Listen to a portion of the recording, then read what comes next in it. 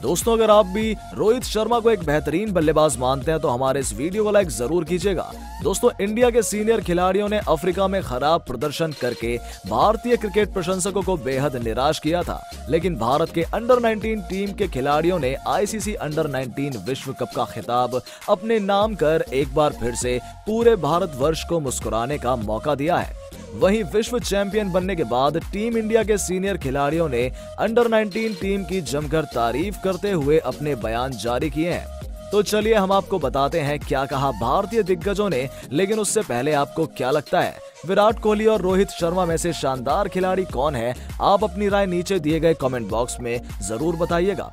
दोस्तों team India के युवा खिलाड़ियों ने पांचवी बार अंडर 19 विश्व चैंपियन बनकर पूरे भारत वर्ष को 2022 में पूरे भारत वर्ष को सबसे बड़ी खुशी दी है। आपको बता दें कि फाइनल मुकाबले में भारत के अंडर 19 खिलाड़ियों ने अपना शानदार खेल दिखाते हुए इंग्लैंड को चारों खाने चित कर दिया।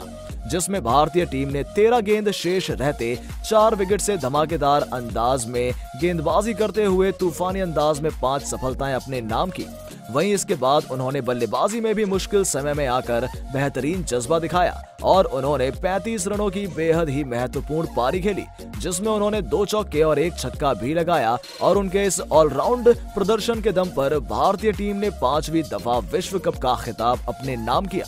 वहीं टीम इंडिया की जीत पर भारत के दिग्गज खिलाड़ियों ने अंडर 19 खिलाड़ियों की तारीफ़ करते हुए अपने बयान जारी किए हैं। जी हाँ दोस्तों, भारत के सीनियर टीम के कप्तान रोहित शर्मा ने अपना बयान देते हुए कहा कि जिस तरीके से हमारे खिलाड़ियों ने वेस्टइंडीज में हुए विश्व कप में अपना प्रदर्शन किया है, उसे देखना सच में लाजवाब था। मैं विश्व कप से पहले उनसे मिला था और मुझे तभी से लग गया था कि ये अंडर 19 विश्व कप में आग लगाने वाले हैं, क्योंकि उनके अंदर मैंने तभी से विश्व कप जीतने का जज्बा देखा था और विश्व कप जीतकर उन्होंने मुझे सही साबित भी कर दिया।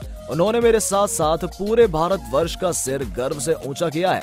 मेरी तरफ़ से अंडर 19 टीम के साथ साथ पूरे भारत वर्ष को ढेर सारी शुभकामनाएँ। दोस्तों, रोहित शर्मा के बाद टीम इंडिया के पूर्व कप्तान विराट कोहली ने भी अपना बयान देते हुए कहा है कि जिस तरीके से हमारे युवा खिलाड़ियों ने फाइनल मुकाबले में इंग्लैंड को चारों खाने चित किया, सच में उसे देखना लाजवाब था और ये जीत पूरी टीम की जीत है, जिससे ये दर्शाता है कि हमारी टीम में कितनी एकता है। और मुझे पूरी उम्मीद है कि हमारे ये युवा खिलाड़ी अगले कई सालों तक विश्व क्रिकेट पर राज करने वाले हैं। मेरी तरफ़ से अंडर 19 टीम को ढेर सारी शुभकामनाएँ।